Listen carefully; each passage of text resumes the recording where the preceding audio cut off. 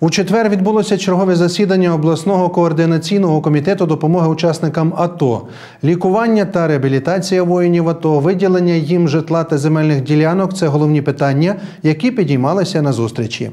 Об'єкт незавершеного будівництва, що в обласному центрі на вулиці Софіївка, 39, буде передано на баланс Івано-Франківської міської ради, аби надалі там облаштувати житло для учасників АТО і їхніх родин. Я думаю, що на наступний, до кінця наступного тижня ця процедура буде завершена повністю.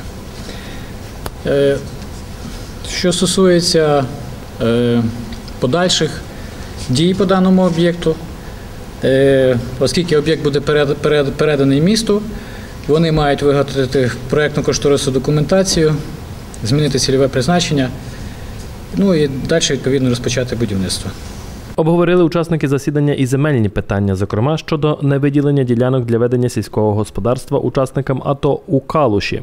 Поки що це питання вирішується. А от співпрацею з очільниками сіл, які входять в Івано-Франківську міську раду, ветерани АТО задоволені. Є в нас е, нормальне ставлення голів сільрад до учасників АТО, є розуміння, є перспектива. Вони роблять все, що в їхніх силах на сьогоднішній день.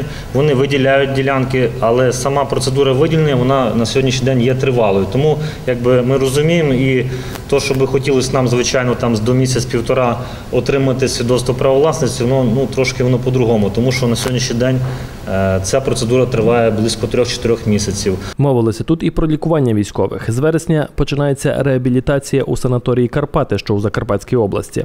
А також буде закуплено путівки до санаторію Черче. Прохання є до членів громадської організації учасників АТО.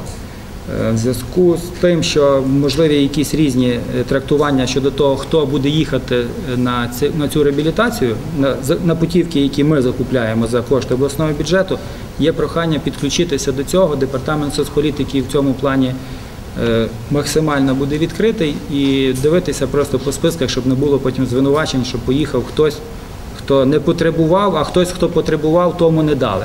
Тому, перше, дайте, хто потребує, якщо у вас є така інформація. А друге, дивіться за тими, кого нам пропонують інші райони, і щоб там не вийшло якихось таких неприємних ситуацій.